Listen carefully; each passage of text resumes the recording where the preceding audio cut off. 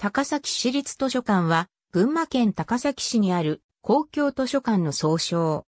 高崎市立中央図書館、三里図書館、群馬図書館、新町図書館、春名図書館、山種記念吉井図書館の6館で構成される。機関となる図書館は、高崎市立中央図書館であり、高崎市内の公共図書館等とネットワーク構築された図書館情報総合システムや物流システムを管理している。私立高崎図書館1909年7月9日、高崎市教育会の評議会は、図書館設立の方針を議決、15日に教育会長、内田信康の名で、私立高崎図書館趣旨書を発表し、有志の賛同を呼びかけた。高崎市教育会は、市内の青年実業家の団体である同期沢会と交渉しその協力賛同を得ると、1910年3月18日に、私有施設春も夜間の無償永久使用を高崎市へ願い出て、市長、司会の承諾を得た。春も夜間は、1884年に、上野高崎間の鉄道完成に伴う開通式に、再始、明治天皇の安在所とするために新築された建物。1910年3月24日に私立高崎図書館を創設、9月26日私立高崎図書館が開館、開館式は11月3日に行われた。図書館開館には概算で修繕費1373円35銭、器具費505円68銭、図書費742円63銭五輪の経費を要した。私立高崎図書館の所在地は本町港179.180-181番地、敷地総坪数592坪7号5尺、内建物坪数146坪2号3尺。建物は本館と別館の二棟からなり、本館1階には閲覧室、目録所、事務室、閲覧人休憩室、2階には婦人閲覧室、貴賓室が、別館は1階に書庫と宿直室、指定室、2階に会議室、特別閲覧室が置かれた。当初の蔵書数は1746冊であった。図書は第1問から第10問までに分類され、部門別にカード式の目録が作成された。図書閲覧規定により、図書の閲覧は12歳以上とされていた。なお、考え貸し出しは名誉館友と特別館友だけに限られていた。立ち友規定によれば、名誉館友、特別館友になるためは、図書館に多額の金品を寄贈することなどが必要であった。1913年には高崎図書館巡回文庫が創設された。文庫は2組あり、1組は市役所、市立各小学校、1組は図書館、役員37人で巡回閲覧されていた。1917年には高崎市公会堂が図書館のある場所に建設されることとなり、図書館は西側へ移築された。市立高崎図書館1919年2月17日、高崎市教育会は図書館を市に移管することを決定し、3月31日に高崎市へ引き渡した。これにより、4月1日から市の社会教育機関として運営されることとなり、8月1日に高崎図書館と解消した。1930年4月1日、高崎図書館外図書体質規定が定められ、一般利用者への貸し出しが開始された貸し出し冊数は1人1回2冊以内、貸し出し期間は10日間で、最大20日間まで延長可能であった。1923年8月12日、高崎商業会議所の東宮殿下ご成婚。記念事業に関する委員会が図書館の移転改築、公会堂の拡張などを記念事業とし、市当局と連携して実現を期することを決定した。1931年11月24日、高崎市会で高崎図書館改築案が提案された。改築費は37,012円が見込まれ、財源としてはご成婚記念石流金28,260円、他に、高崎商工会議所寄付金8000円が見込まれた。翌年2月には、設計が出来上がり、1935年4月8日、寄港、10月15日に竣工した。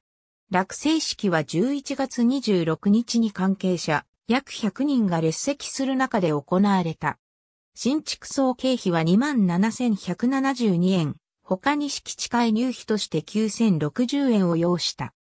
新しく開館した図書館は敷地257坪。建物は木造の近代洋風建築2階建て。初好み鉄筋コンクリート3階建てとなり、建築坪数は243.3坪であった。図書館1階には、事務室、第一閲覧室、自動閲覧室、新聞閲覧室、カード室などがあり、2階には、第二閲覧室健康堂、婦人閲覧室の他に応接室、参考室などが設けられた。1940年には、高崎市立図書館法第1号が発行された。これによると、当時の図書分類は、霊早期、1精神科学、2教育科学、3文学、4歴史科学、5社会科学、6自然科学、7工学、8美術、9産業、他に児童図書とされていた。太平洋戦争が激化すると、中央省庁の疎開が行われることとなり、東京鉱山監督局の高崎への疎開が決定した。その庁舎には、九蔵町の高崎商工会議所や図書館の建物が使用され、1944年1月6日図書館は、寄合町の旧西軍跡に移転した。終戦後の1946年3月11日には、高崎公園内の武徳殿に再度図書館は移転、1948年5月7日に元の建物に復帰し、開館することができた。CIE 図書館1948年3月1日、占領軍の群馬軍西部により CIE 図書室が高崎図書館内に設置された。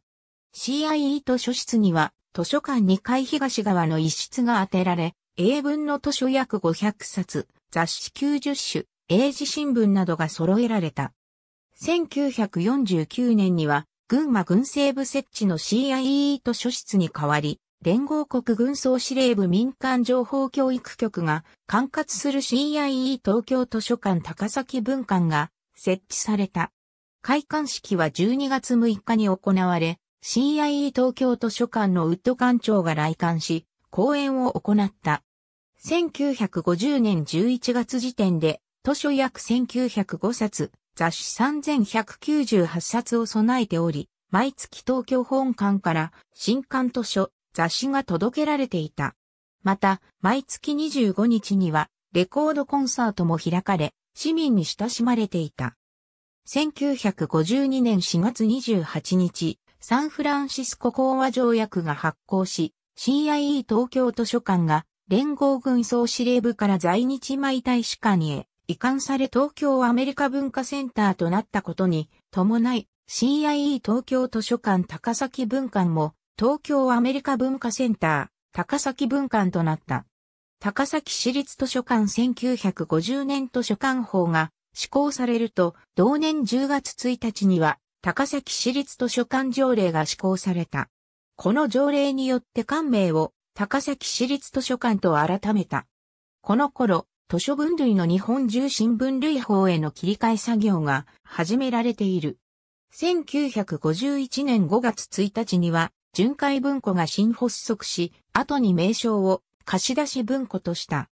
その後、図書館周辺における建造物建築による風通しや日照の悪化、自動車の騒音など環境の変化により図書館移転が要望されるようになった。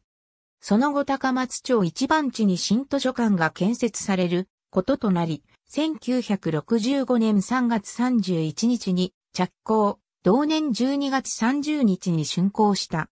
鉄筋コンクリート造り地上5階、地下1階、床面積は1900.125平方メートルで、総工費は6000万円を要した。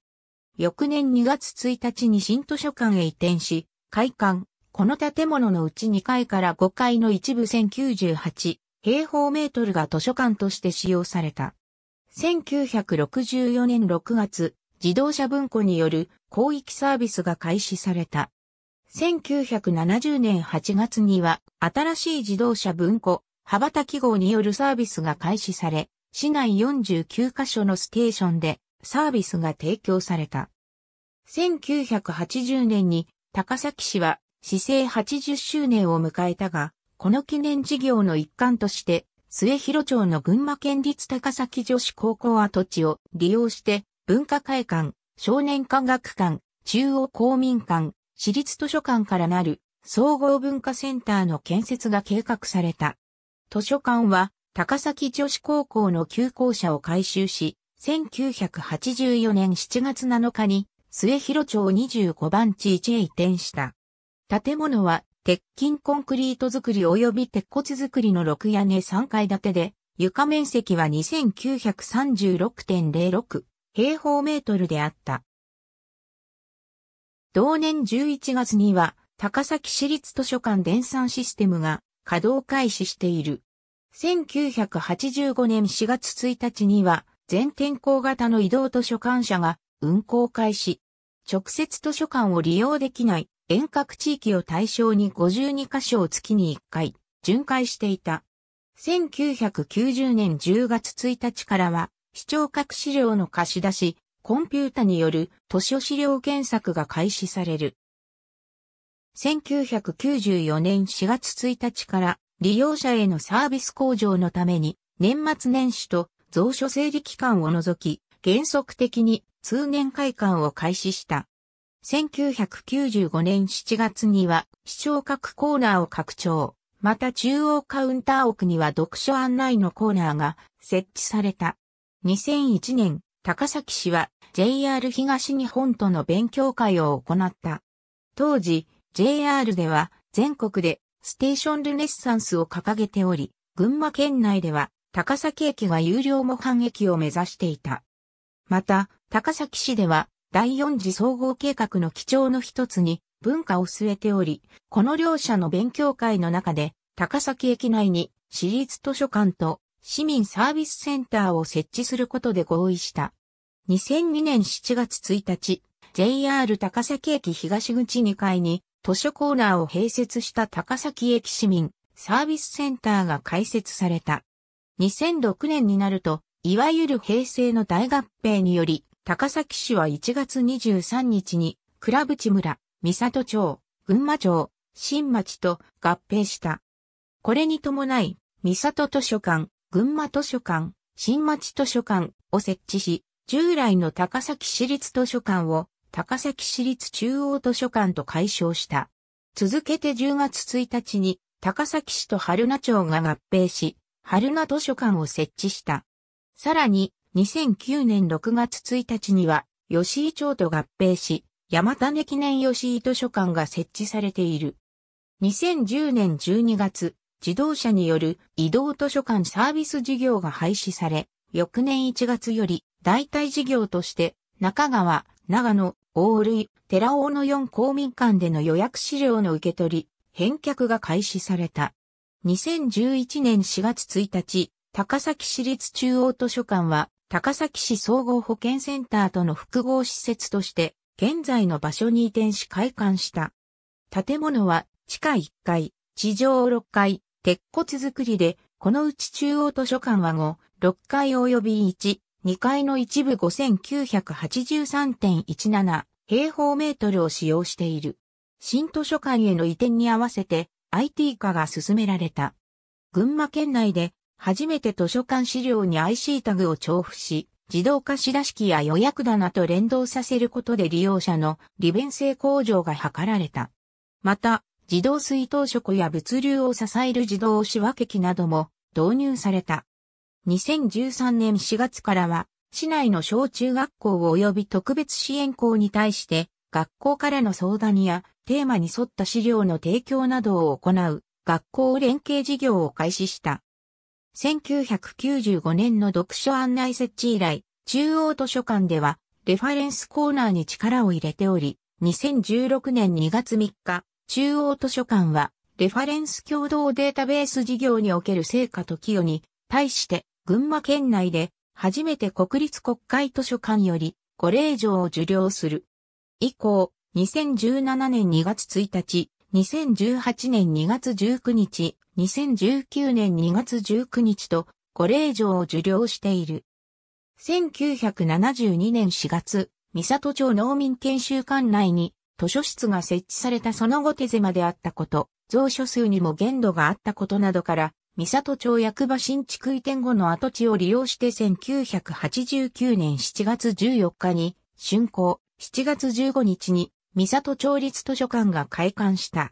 2006年1月23日、高崎市と三里町の合併により、高崎市立三里図書館となった。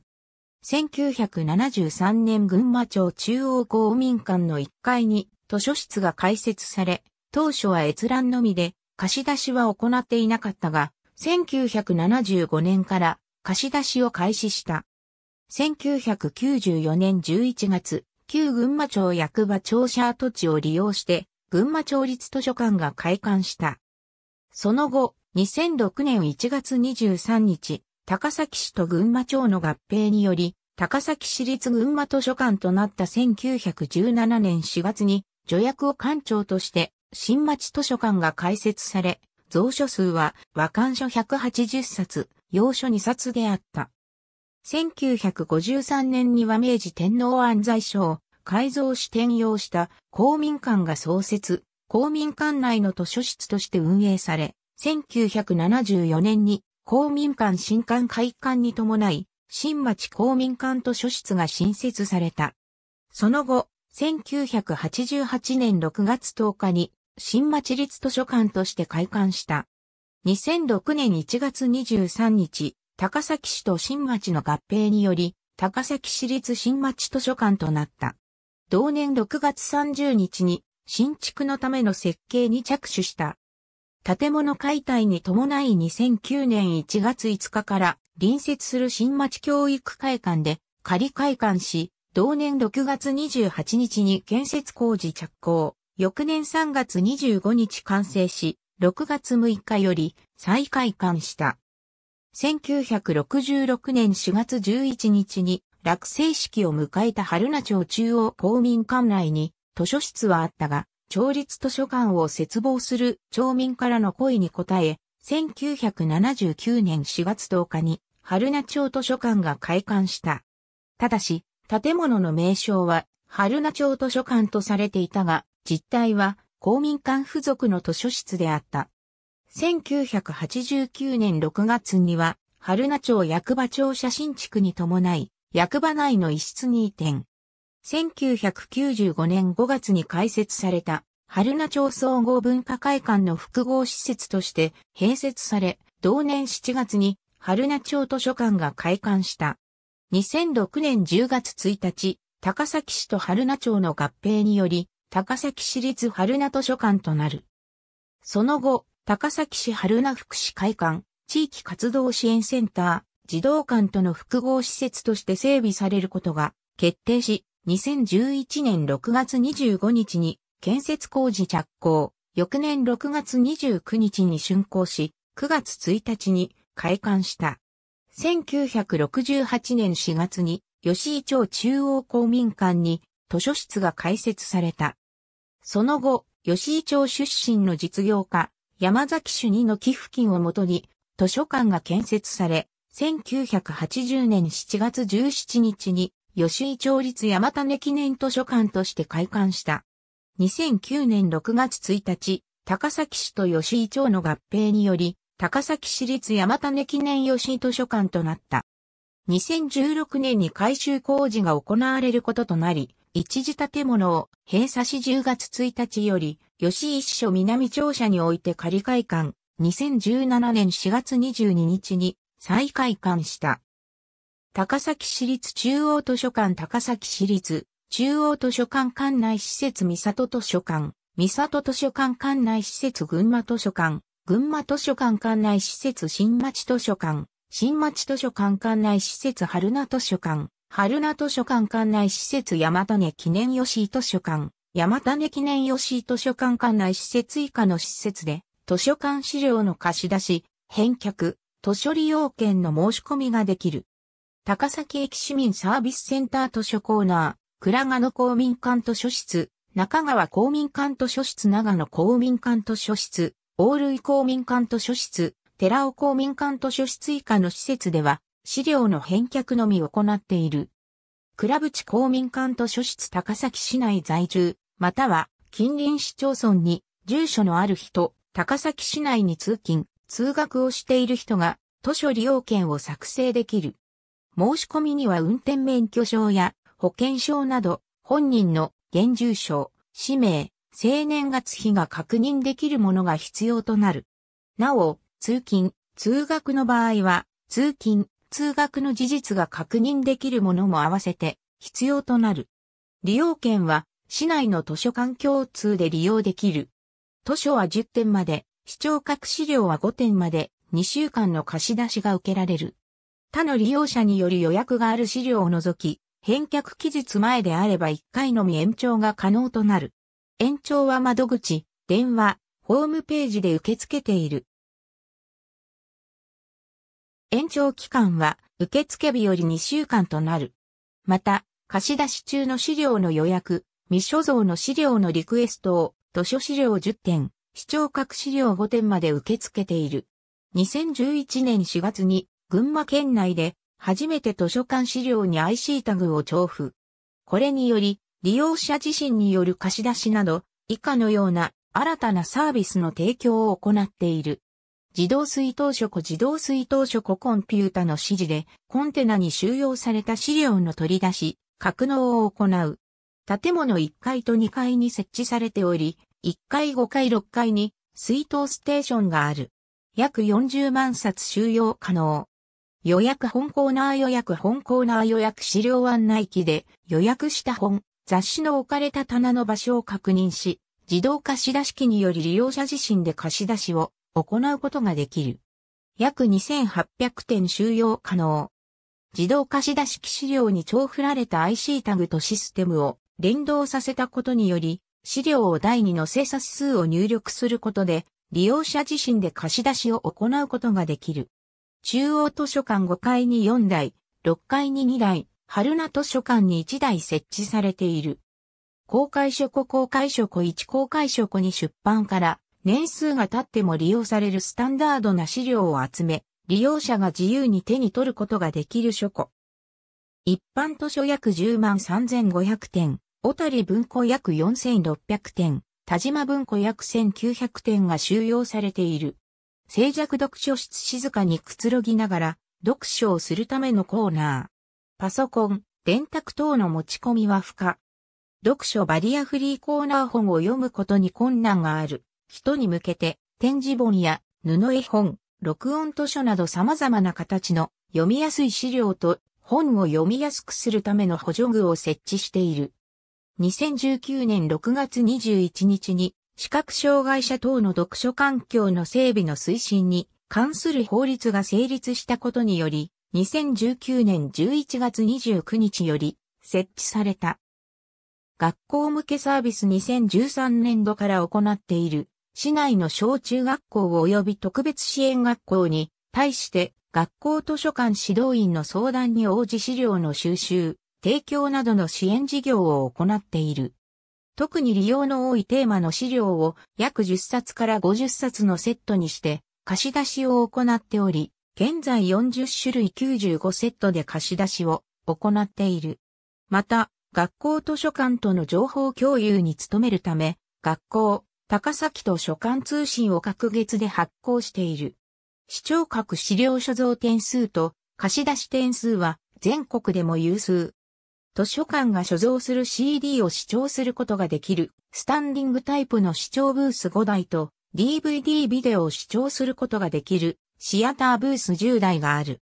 資料所蔵点数2019年3月31日現在、来館者数2018年度歴史、社会が専門の教諭として、群馬県内の中学、高校に勤めた小谷栄一氏が収集した近現代史に関する資料。1989年に、小谷栄一氏夫人の小谷若氏より寄贈された。喧嘩人クラブ会長や工芸家団戦者などを歴任された田島武雄氏が戦前、戦中、戦後を通して集めた資料群。田島武雄氏は昭和25年から昭和39年まで高崎市立図書館長。本人の著書、編集に関わった雑誌、群馬に関わる貴重な資料が収集されている。1988年に田島武雄氏夫人の田島さや氏より寄贈された。郷土史や篠木博明氏が収集した古書群。現在ではほとんど入手することができない。郷土に関わる文芸や民族を中心とした近世、近代史の貴重な資料修正。江戸中期から明治初期に刊行された1300点を超える古書、古文書資料からなり、その約半数は高崎を含む西毛地域が占めている。平成8年度から2年をかけて購入。閲覧は学術機関に所属する研究者にのみ許可されている。現在、貴重資料の保護と一般閲覧者への公開を目的に資料のデジタル化に取り組んでいる。ありがとうございます。